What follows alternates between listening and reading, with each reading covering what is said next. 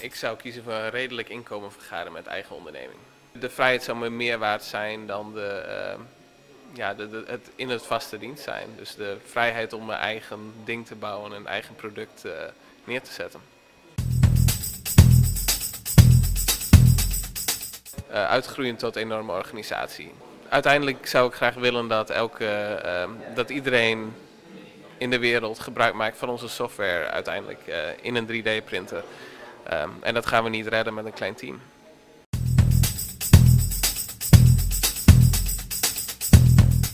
Een zegen. Ik zie heel veel mogelijkheden voor de toekomst in het uh, gebruik van de 3D-printers.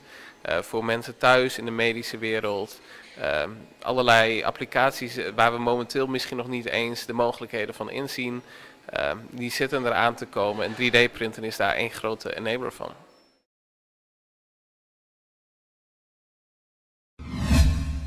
Zorg dat je het niet alleen doet. Verzamel een groep mensen om je heen. Dat kan één of twee zijn, uh, maar ook meerdere. Uh, waardoor je een deel van je taken kan verdelen en je kan richten op waar je goed in bent.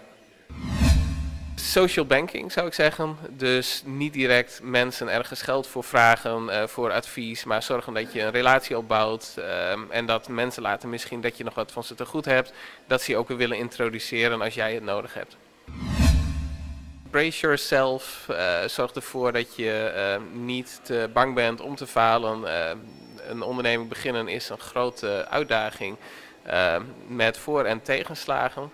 en daar moet je voorbereid zijn.